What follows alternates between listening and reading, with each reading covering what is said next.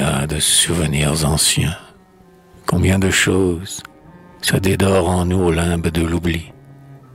Le missel ne sait plus la page où fut le pli.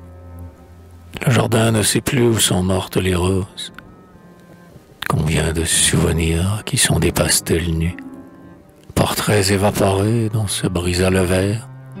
Nous étant maintenant comme des inconnus, où la mort du couchant seul se réverbère. Combien de souvenirs, mais si vite oubliés. La rivière bientôt dilue en son eau triste, le reflet balancé des heureux peupliers. Ah, comme tout s'en va, comme rien ne persiste, comme tout cet amant en nous de vieux décors, pâlement restitue au fond de la mémoire un peu de la féerie en gaz rose et noir. Et comme l'air lui-même est oublieux des corps qui firent, dans des soirs éloignés, violence à la virginité pensive du silence. Mais l'air en garde à peine un souvenir rosé.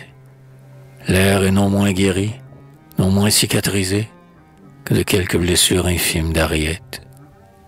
Comme tout se déprend, comme tout s'émiette.